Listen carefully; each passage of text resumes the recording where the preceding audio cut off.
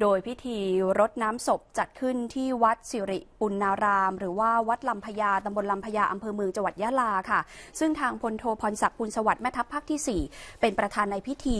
ร่วมกับนายชัยสิทธิพานิชพงศ์ผู้ว่าราชการจังหวัดยะลา หัวหน้าส่วนราชการตำรวจทหารฝ่ายปกครอง รวมไปถึงชาวบ้านตำบลลำพญา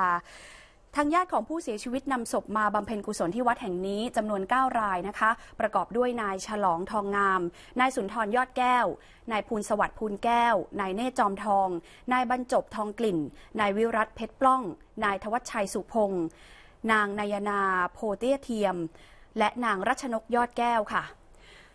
แม่ทัพภาคที่ 4 ยังได้มอบเงินช่วยเหลือเบื้องต้นให้กับครอบครัวผู้เสียชีวิตทั้ง 9 ราย และนายชัยสิทธิ์พาณิชพงศ์ผู้ว่าราชการจังหวัดยะลาได้มอบเงินช่วยเหลือเยียวยา ผู้ได้รับผลกระทบจากเหตุการณ์ความไม่สงบ ให้กับครอบครัวของผู้เสียชีวิตอีกละรายละ 5 0 0แสนบาทด้วยค่ะ ส่วนผู้เสียชีวิต 6 รายประกอบด้วยนางสาวกมลวันอุทัยธรรม ญาตินำไปบำเพ็ญกุศลที่วัดป่าสวยจังหวัดปัตตานี ร้อยตำรวจเอกพยุงคืนขุนทศญาตินำไปบำเพ็ญกุศลที่วัดใหม่อำเภอเมืองจังหวัดยะลา นายสุพจน์จันวิมาน และนางธนารักษ์ชัยปัญญา ญาตินำไปบำเพ็ญกุศล ที่วัดบ้านไร่พัฒนาจังหวัดปัตตานี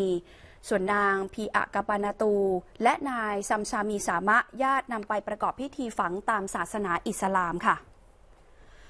ทางด้านพลตำรวจตรีปราบพานมีมงคล ผู้บังคับการตำรวจภูธรจังหวัดยะลาก็ลงพื้นที่เพื่อไปตรวจเยี่ยมกำลังพลที่ปฏิบัติหน้าที่ที่สพตาเซอำเภอเมืองจังหวัดยะลา ซึ่งเป็นสถานีตำรวจที่จะตั้งขึ้นใหม่ และเปิดให้บริการประชาชนมาได้ประมาณ 1 เดือนนะคะ โดยระบุว่าหลังจากเกิดเหตุการณ์ความไม่สงบในพื้นที่ตำบลลำพญา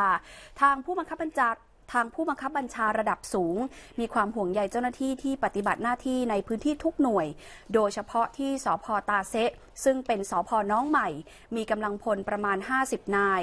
และเป็นสถานีที่อยู่ในจุดเสี่ยง จึงได้ฝากย้ำเตือนให้ผู้ใต้บังคับบัญชารวมไปถึงเจ้าหน้าที่ว่า จะไปไหนมาไหนหรือว่าไปคนเดียวต้องเพิ่มความระมัดระวังให้มากยิ่งขึ้น